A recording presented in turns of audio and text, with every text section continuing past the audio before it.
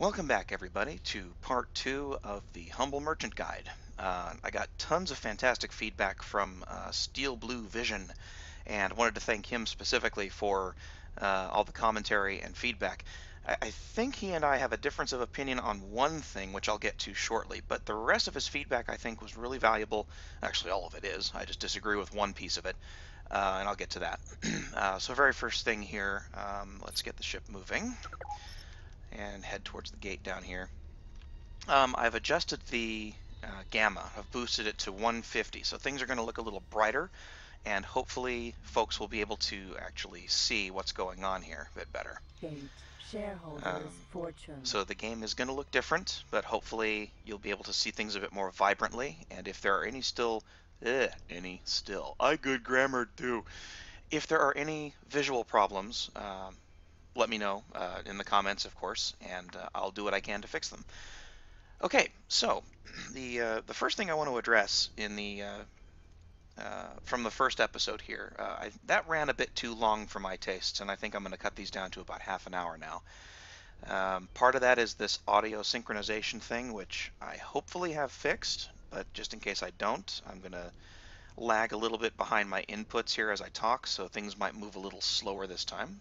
Uh, the other is uh, a very good point was brought up that I ventured a really long way away from Argon territory. And that's generally not something you want to do too much at the beginning of the game. Um, here's the map of the universe. We're in the vault right now. And for some reason, for whatever reason, the game designers decided to make Shareholders Fortune and Family Whi have a nice big gap in between them. So if you see here, we're going to go from the vault back to Argon Prime.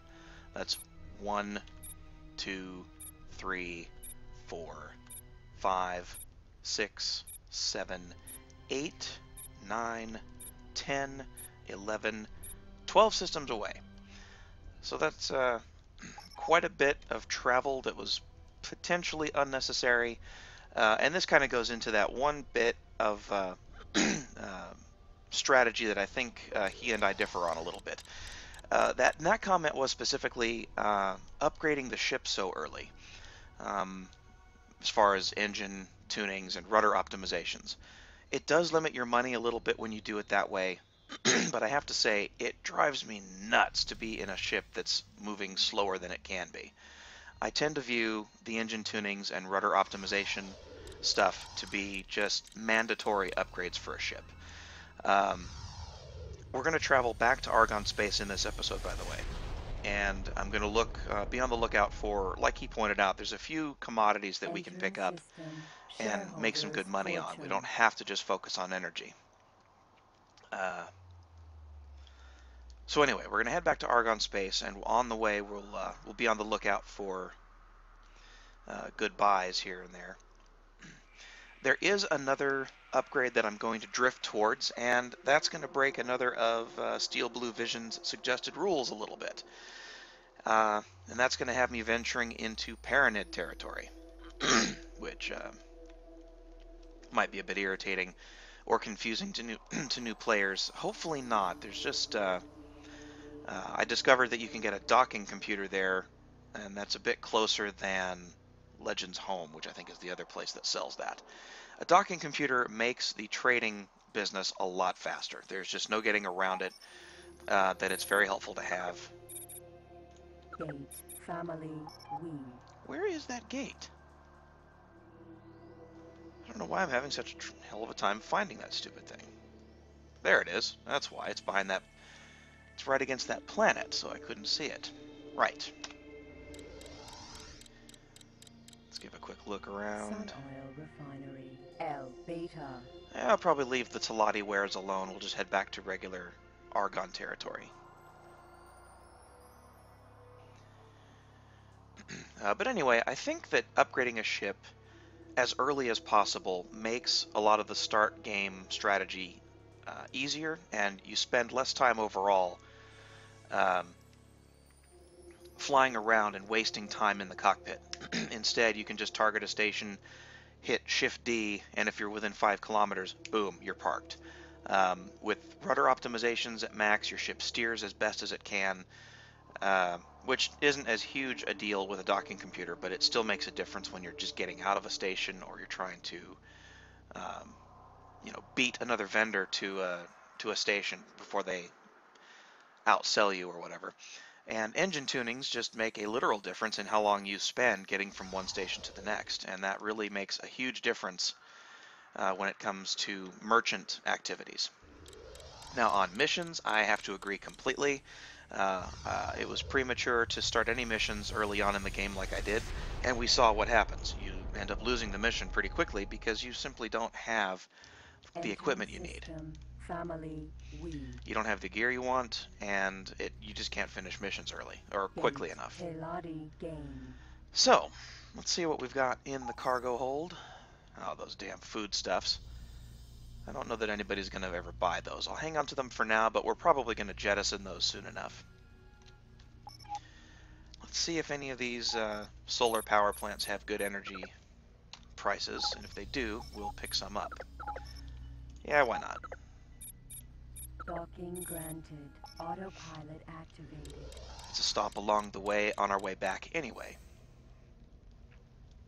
So we'll swing by, load up our hold with as much energy as we can hold. I did not intend for that to rhyme, but it did. Sorry.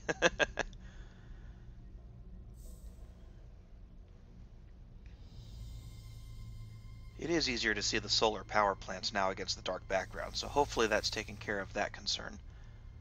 Um, like I said, if it still looks funky, let me know and I can crank that gamma up even more.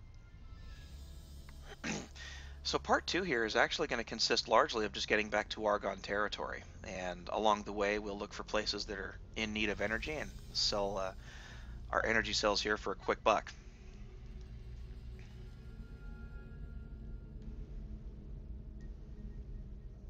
Successfully docked. All hail the family Rhonkar, the split dynasty. And connection to local trading network established. Right. You are being promoted. Huzzah! Better to be a traitor than a traitor. I think I'm going the wrong direction. I am. Watch me suck. Okay, let's fly that way. Okay, do you need juice? Well, kinda. How about you? Not so much. Where's that guy? Nah, he's too far out of the way. Let's just carry on. Uh-oh. Hey, autopilot, try not to kill us. Wow, look at that. Autopilot actually did the right thing. Nice close flyby of that solar plant, too. I have to say, the models for some of these stations are just absolutely gorgeous. Egosoft did a fantastic job making this game look good.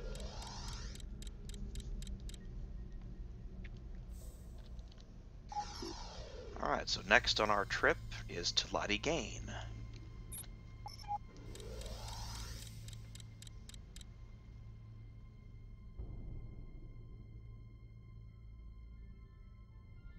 Lots of traffic in this system, and almost all of it is faster than me.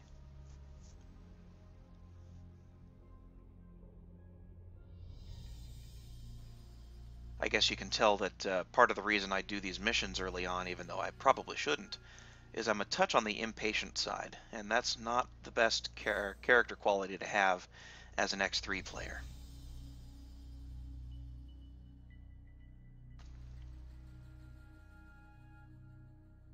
Come on, autopilot, quit screwing around. That's part of the reason why you don't let autopilot fly through gates. Wanted to show that off before I just stopped doing it for good. Entering system, Teladi autopilot. Yeah, forget autopilot. It'll even take control and start doing stupid things as you leave a gate. Drone production facility. Alpha. He is full up. Alright, so lots of places to sell here, but let's see if anybody needs anything. 16 energy, or credits per energy cell. He's buying for 18. Let's head over that way. Docking granted. Autopilot activated. Alright, cool. Guess we're heading for this dream farm. Dream farm. M Alpha. Offload our energy cells, get a bit of profit here, and then continue our journey.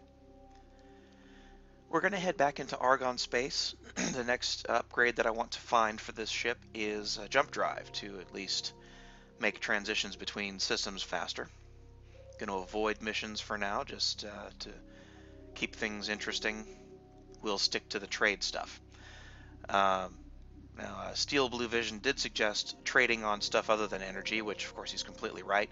Uh, ore is another good seller, a good uh, commodity, and of course, uh, meat steak Cahoonas, I think they're called, and that's an argon thing. So we'll take, we'll start uh, doing that here shortly too. A lot of stations use those. I think you, uh, I guess it's to feed the staff. I guess humans can't exist on energy cells alone. Now, here's hoping somebody didn't just supply this guy. Successfully docked. Oh yeah. Half of Chairman CEO, Boom. And a connection to Lots of money. trading network established. Well, money anyway. Alright, so we've got enough credits in the bank now that we can at least um, fill up our hold with energy cells. That's the east gate, that's where we want to go. Wait, no it's not. Wow. Okay, if we're ever lost in the woods together, don't let me navigate unless I've got a damn GPS with me, please. Alright, next stop. We're going to keep going west until we get into uh, Boron territory again. We're just going to head back through Kingdom End, and uh, we're going to keep heading south and continue exploring the rest of Argon territory, because there's plenty of cool stuff around there.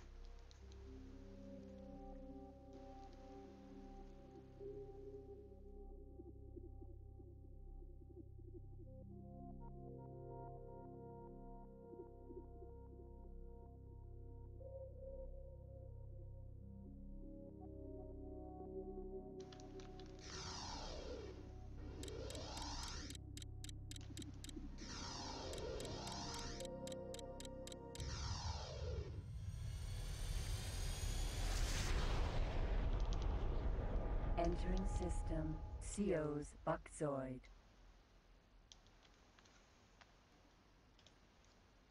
Gate. Menelaus's Frontier. Teladianium Foundry. L. Beta. Gate. Menelaus's Frontier. Curious what that mission there is. But there's that mission trigger finger again. Now, once your ship is equipped with a jump drive, a docking computer, a triplex scanner, uh, even cargo bay life support, and a good supply of energy cells, it does pay off to do some of these missions, especially the freight missions. Teladianium. You are talking? Do you recall? Thank you for your call. I shall transmit the data to you now. You may find things somewhat tricky. Have I provided something? Now they call this a very hard mission with good reason. The reward's really nice, but they've only giving you they're only giving you 10 minutes, which basically means you have to have a jump drive, and you've got to have a fast ship and a fast you know a docking computer and that whole mess. You can do these missions, but uh, we cannot. We don't have the equipment or the money. Sucks to be us. Here we are on the universe map again. Just a few more jumps left before we're back in Argon space.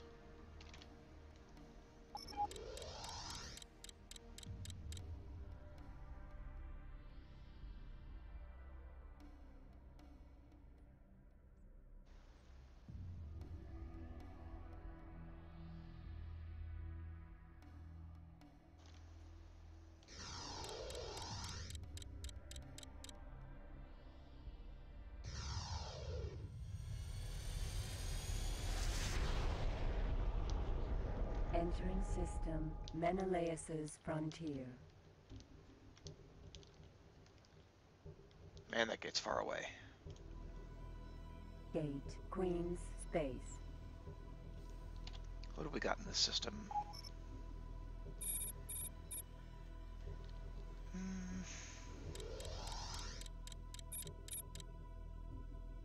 I don't think these sell stuff to each other very effectively, so we can skip that. Let's just fly on through.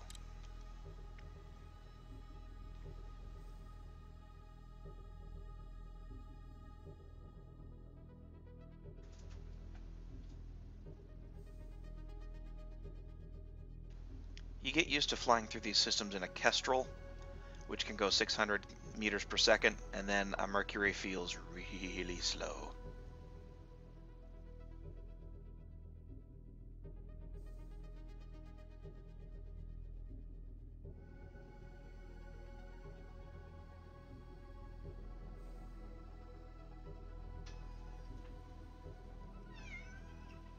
Uh-oh. Feline priority interrupt. What? What is it? What you doing? I don't think you're very good at X3, I'm sorry. I have to give him some attention. He was being really nice about asking for it.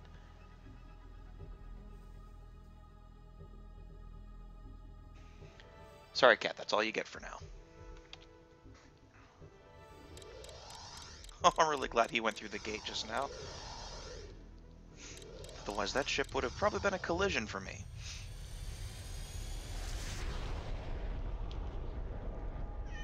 Entering system, Queen's space.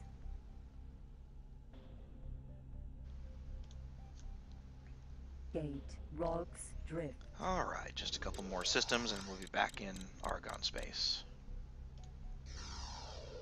Solar power plant, M Alpha. No. Persistent little devil sometimes.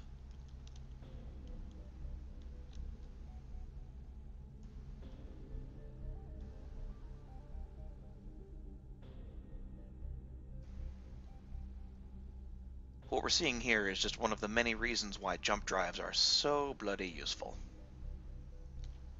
Hey, who just did a flyby?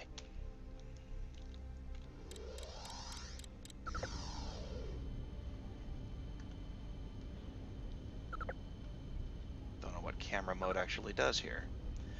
Let's make this a little interesting. At least change the scenery a little bit.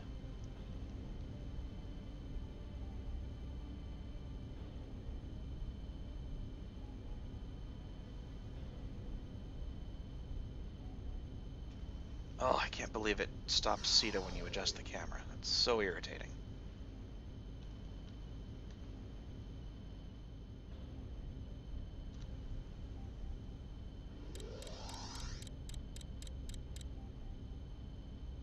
Kaboom! Wow, that looked like a, uh, well, that was a near miss, but it looked really bad.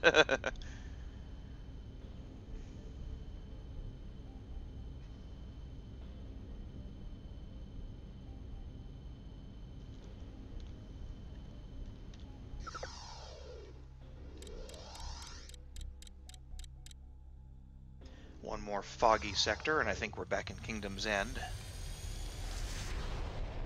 Entering system, Rolk's, Oh, Drift. nope, that was it. Okay, cool. Where's that gate? There it is. Really hard to see when a planet is behind it. Gate, Kingdom End. Mission! I want to do a mission! Mixery, M Beta. We just don't have the cool equipment we need to do any of them.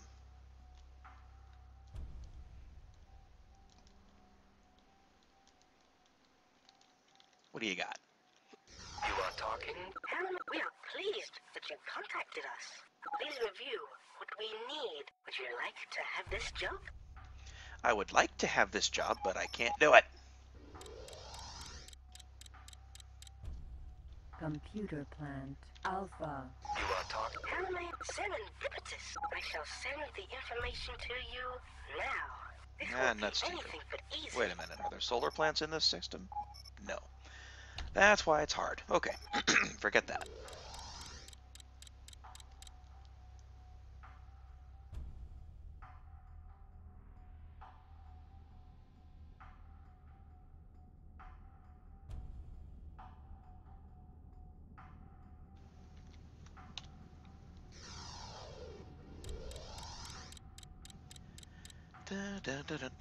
da, da. Damn it.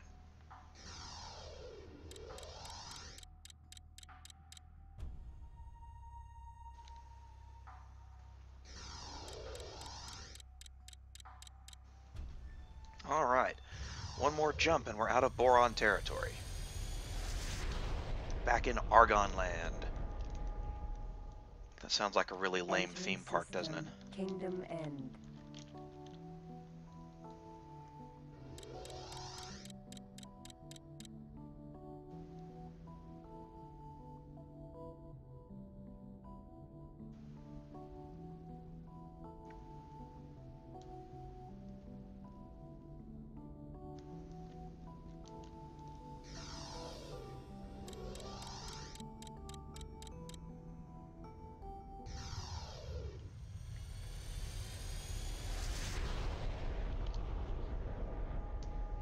All right. system. Back home. worlds. Let's look for some trades. One thing that I appreciate about the uh, X3 games, at least I know that in X Rebirth, they're, the whole point of the game is the is the converse of this. But I appreciate that the jump gates never fail and the jump drives never misfire and deliver you to the wrong place, at least that I've ever seen. and I guess in X Rebirth, the whole plot of the game is the whole jump uh, jump gate network fails, which is a bit of a pisser, but uh, sets up an entirely new universe, and which is awesome. Can't wait for that game to come out. That's looking really exciting. You are talking? How may we? I have a task that would. I shall send the information to you now. Is there something here of interest? I should be able to do this mission now. I know uh, this is going to make some people twitch, but if I dock first, can I get to power plant XL Gamma and power circle? How far are we? It's one system away. Should be able to do this. Where's the damn gate? Need the east gate there? Okay, right. We're going to try this.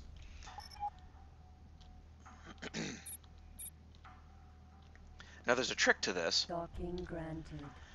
You want to dock at the station that has the mission first. Or you want to dock at the first point you possibly can in the mission first. Save your game, of course. In case you screw it up, you can always reload. Um, but more to the point, it gives you a head start. You just accept the mission and boom, they've already docked and they've already boarded your ship. So all you've got to do is get to your destination and you're good to go.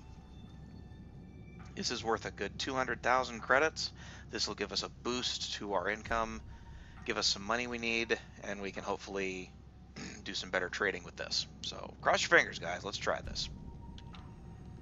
Successfully docked. Blah, blah, blah, blah, blah, blah, blah, blah. All right, dude. To local How may we? Oh, it's I shall send the 168,000 credits, whatever. Now. Let's do it. Something here of.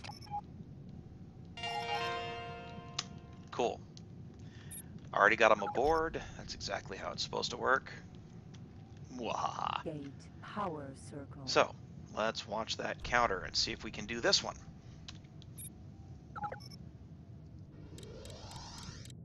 Twenty-one minutes to go. Twenty. Oh, we got this, no question. Nineteen minutes. Eighteen. Yeah, I don't see a problem here. We should be able to do this pretty easy. 17. Hey.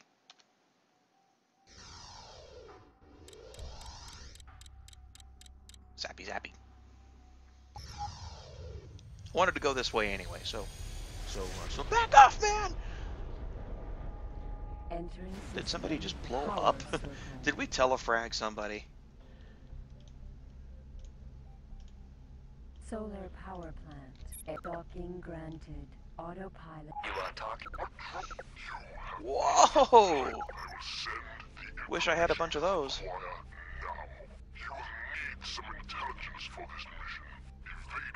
That's uh, that's some pretty good money there, but oh well.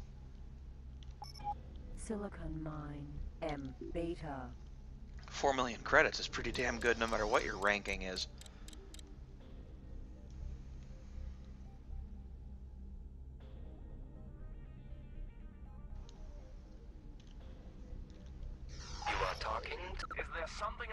Just in time.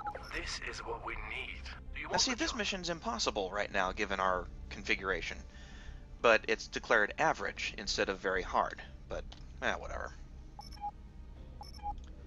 You can't trust the difficulty level described by the missions, uh, the mission briefings. They are almost arbitrary. They're based on time and distance, I think, and they don't take into consideration your ship's config. 12 minutes to spare, 11 minutes to spare, and we got this. Successfully docked. Oh yeah, mission completed. Incoming message. You have gained recognition. Cool. This means we have pleased somebody. Excellent. Well, that's a good way to show how to do a mission right. Yay! 170,000 credits. Ka-ching!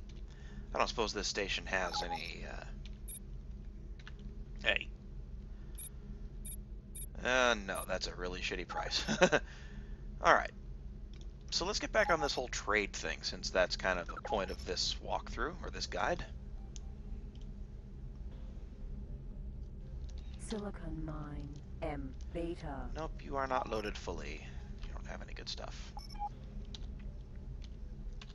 Silicon Really, whatever we're whatever we're looking for for any of these, um, the cattle ranches or the ore mines, any of them, we want to see that their chief, uh, what is it, their uh, produce, whatever they produce, um, is fully stocked because that'll that'll produce the lowest price.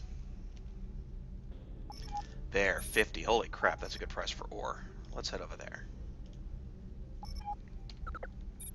Docking granted. Autopilot activated.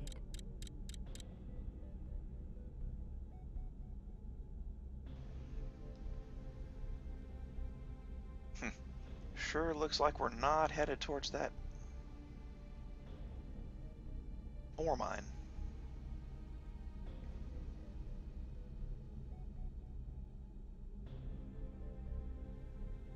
Wait a minute, where the hell is this ore mine?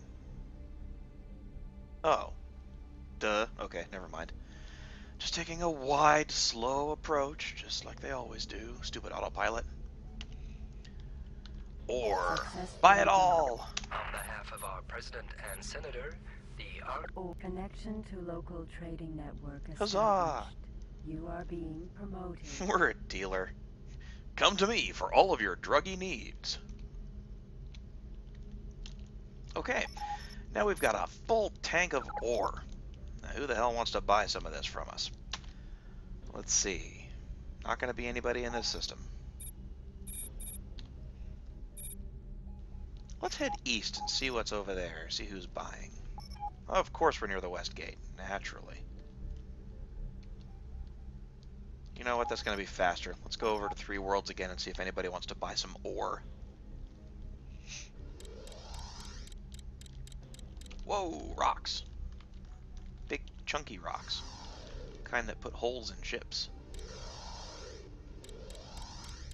I don't want to be a pancake.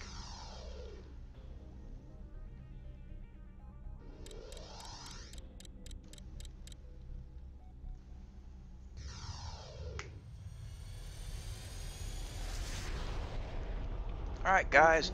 I got a belly full of ore. Who's going to take it? Hmm.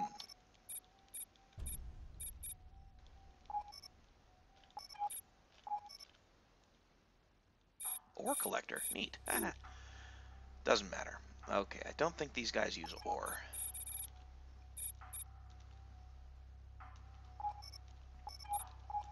They do not. So they are no good to us.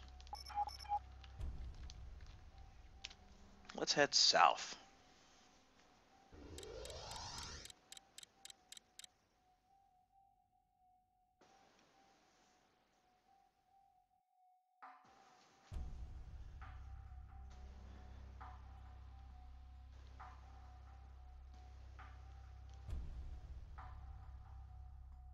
I always pick the sectors with the lousy music to stay quiet in, don't I?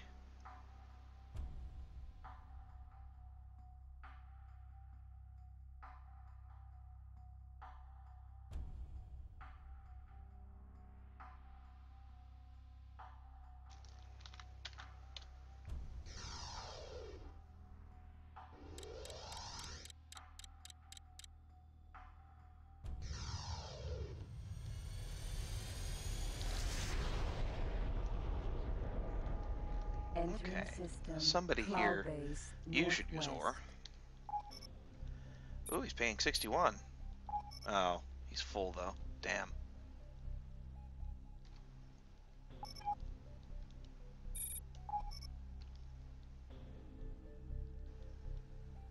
Hmm. Well, that sucks. Yeah, there's got to be more. We'll keep flying. We'll head south again. We already know what's in Herron's Nebula.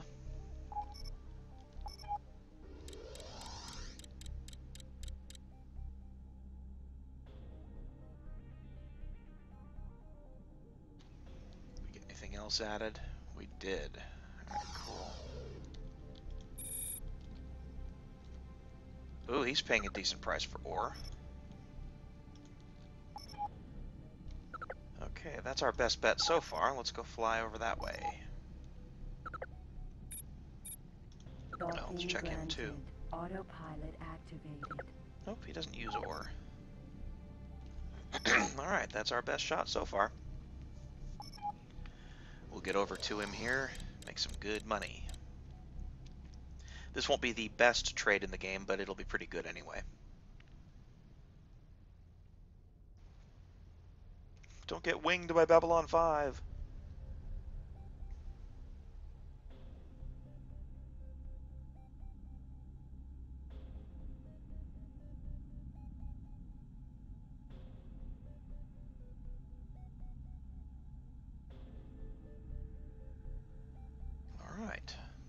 What happens. Sweet. Successfully docked. On behalf of our president and senator, the Argon Federation welcomes you aboard. Connection to local 240,000 credits. Damn, that was uh, not a bad trade. Alright. Well, cool. That actually made some good money. Now we have 240,000 total. Eh, not bad. Well, I think we should call it quits here for this installment. I don't know how badly out of sync the audio is yet until I play this back. Uh, but in the next installment, we'll continue exploring Argon space a bit further, uh, flesh out our map some more, do some more trades, build up our resources. I'm going to start slowly venturing towards Paranid territory so we can acquire ourselves a. Come on, brain, work with me. Docking computer. We'll also head towards uh, TerraCorp headquarters and get a jump drive for the ship, and that'll make a lot of navigation much quicker. So, until next time, thanks for tuning in. Keep the feedback coming. I appreciate all of it, and thanks everybody for watching. We'll see you next time.